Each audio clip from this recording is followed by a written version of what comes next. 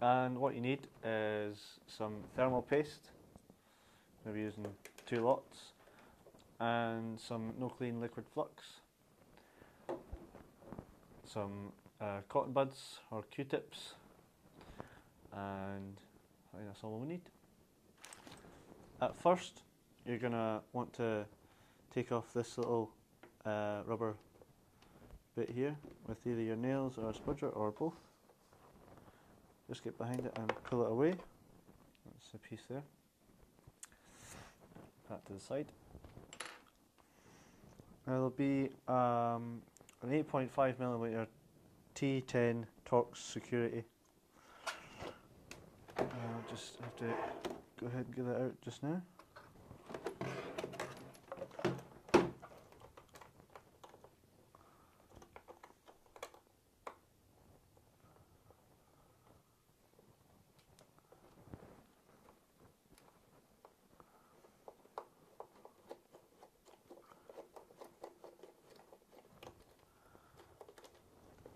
Okay. And that just uh, pops out like that. And you're going to slide the um, the smart cover on the top, just like that. It's just a almost see-through plastic. Right.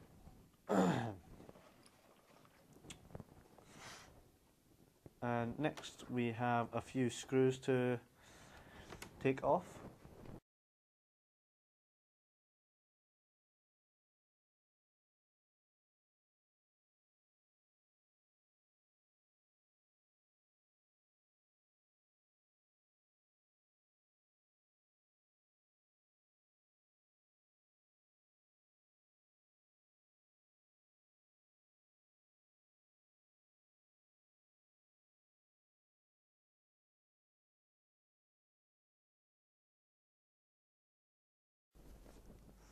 I'm going to flip it around to this side. I'm just going to pull up the rear. And there's a little clip on the edge here. There we are. And you pull it up and totally remove the top cover. Now we're going to remove some some uh, cables.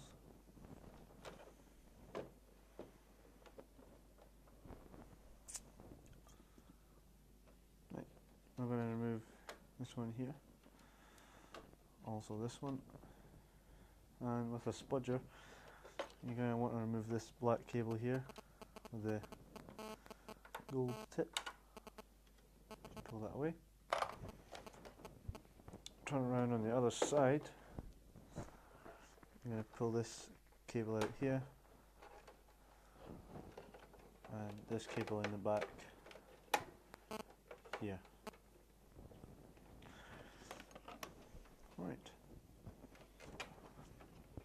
You should be able to just pull this away with no hassle. But do be careful of the ribbon cable here.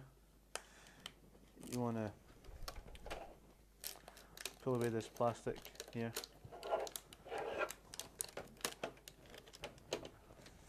And with a spudger again, you're going to want to flip the tie in there and there we go should be away and that is the DVD drive to the side now we're going to be disconnecting the the ground wire to the from the power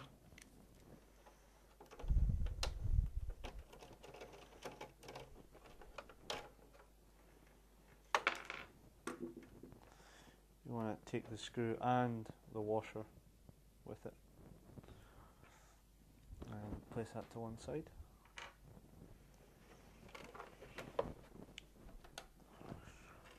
Now, uh, now this screw has one here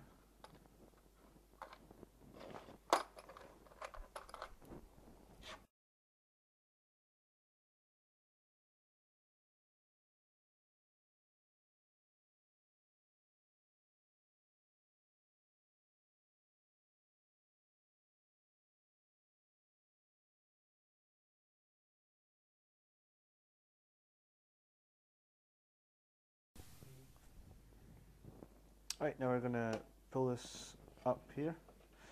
It's connected so it might take a little bit of force to pull up. And that's that component straight off there.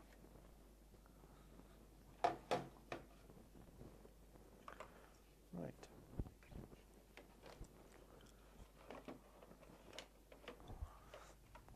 Now we're going to remove a, a few more screws now. One that's holding the this metal bezel down.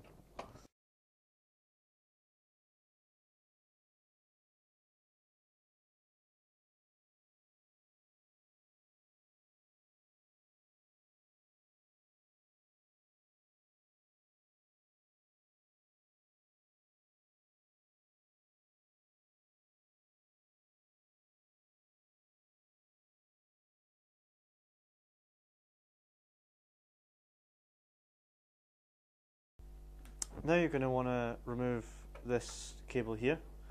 You just flip up the connections on each side and just pull it straight up like so. And also this big flex here, flip up that, pull it out, that's that. And this battery, you want to pull up this cable, oh, I'm going to pull it out first, pull up this cable like that and it comes out. Now we're going to remove these two metal plates here. Just a standard Phillips screwdriver for all four of these screws.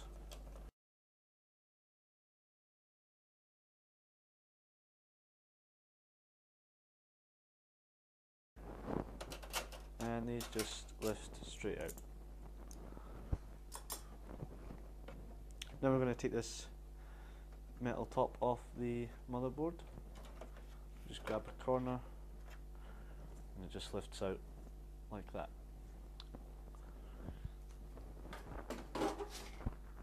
Right. You want to take the hard drive out. You can either reach inside and push it out or you can use a, a spudger tool and pry at this door out. Now ah, once you're inside here, there's a small screw which just unscrews like that.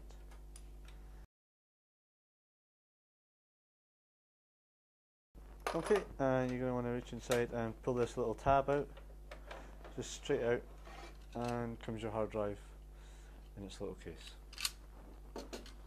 And we're going to just unscrew a couple more things and we can finally lift out this motherboard from its case.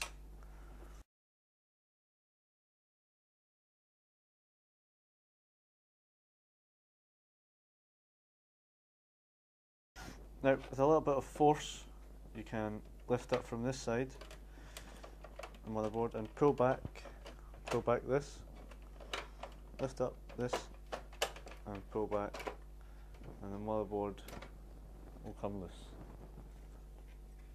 and on the back you see uh, the heat sinks with the, the old paste. There's one screw over here in the far corner.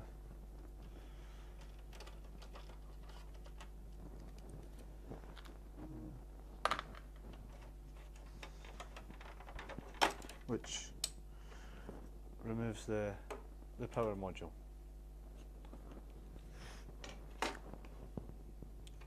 And underneath you can see here is the cooling fan, its power, and these heat sinks here. And later on, we're going to take off these, this this uh, heat sink paste, heat paste, and also we're going to take it off the these, the heat paste if you slide the metal part here back, that just lifts straight off, revealing the two chips, which we're going to work on just shortly. And we're going to remove the the paste on these chips here. I prefer to put it on uh, a raised box like this so that you can get a nice even surface even though these prongs are here so it stays nice and flat. Now you're going to get a, a card or something similar to scrape off the the excess excess paste here. Okay, now we're going to take off the old thermal paste from the chips. Uh, just do this by using an old card, credit card or or anything you've got lying around just to get off the, the first big layer.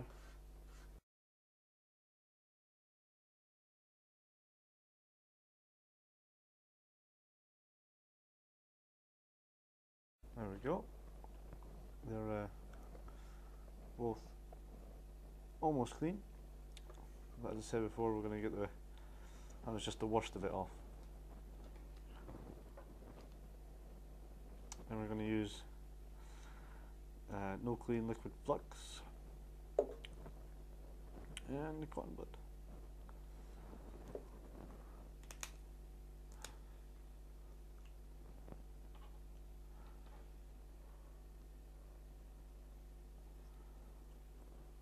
Just gonna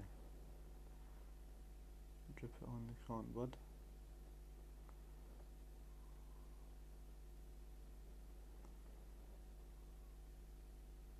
There we are. Just going to work in circular motions.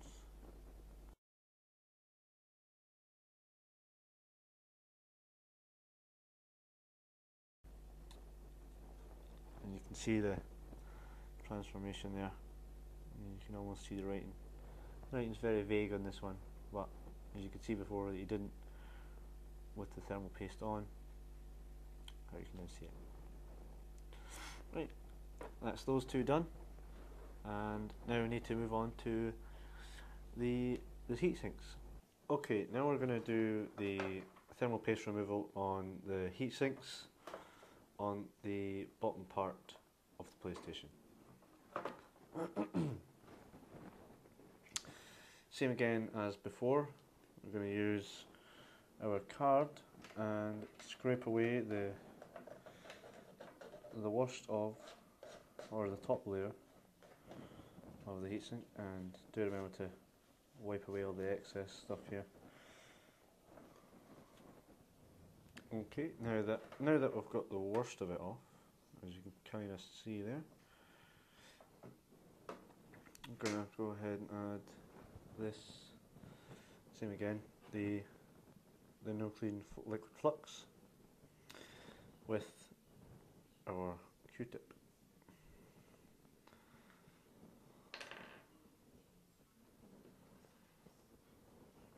Okay.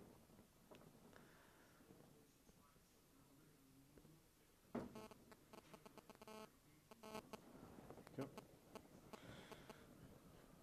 Just use the Q-tip in a circular motion. I want to go along this little ridge here. It's uh, that's a corner, so there's quite a bit of quite a bit gathers in there. And on the other and the, this side as well.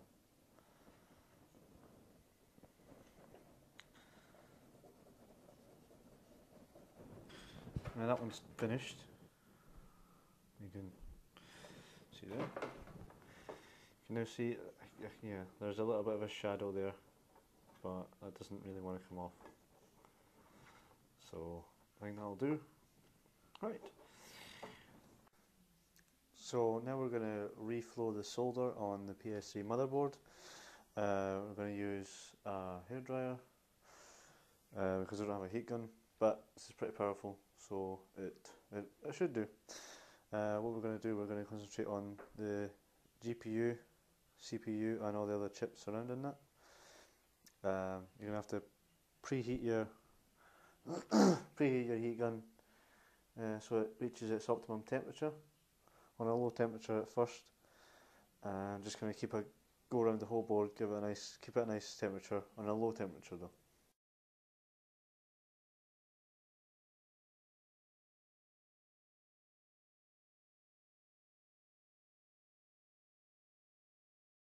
Once everything on the board's nice and up, we'll just kind of pump the power up.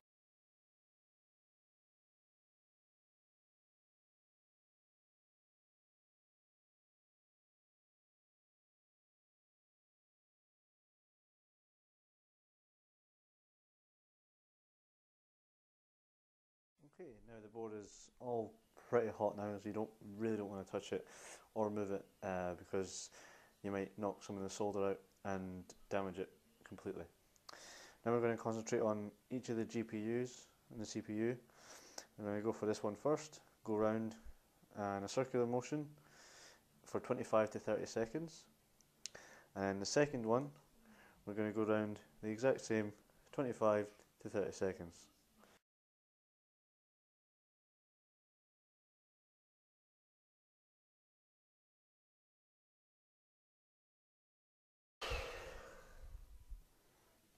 Okay, that was uh, 30 seconds on that one. And it's going to be the exact same 30 seconds on the next one here.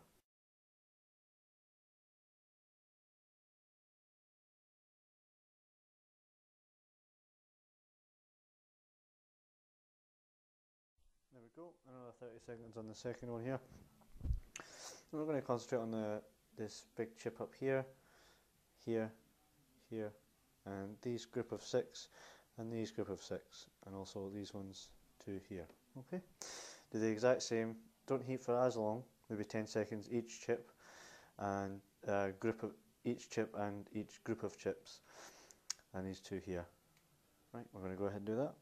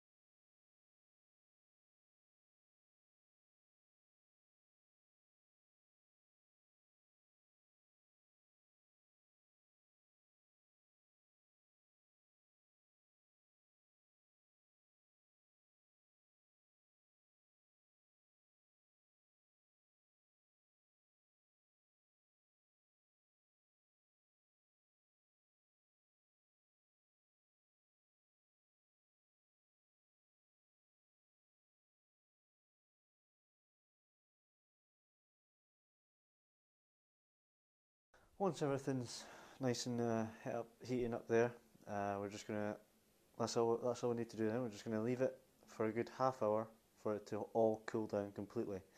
You really, really don't want to knock it or move it at all, uh, at all during this cooling period, as you could knock anything out of place, and all the components on it are very malleable, and they may move if you do touch it.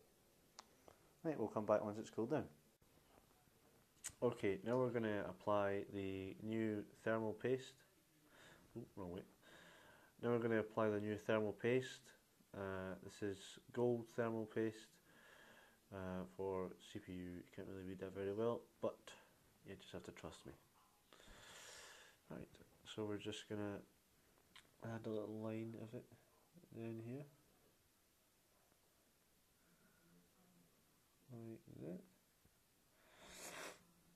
pull it back in. And I'm going to use the card. Uh, I'm going to use this is the old end. This is the new end of the card that's not been used for the old thermal paste before. So we're just going to drag it along and just try and smooth this out over the whole area. You need to be quite light with this as you're not scraping it off your you're uh, spreading it on